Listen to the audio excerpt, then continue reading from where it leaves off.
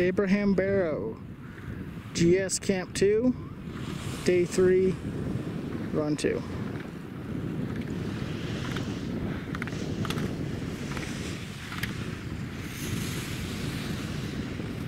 John, you want your group laughing?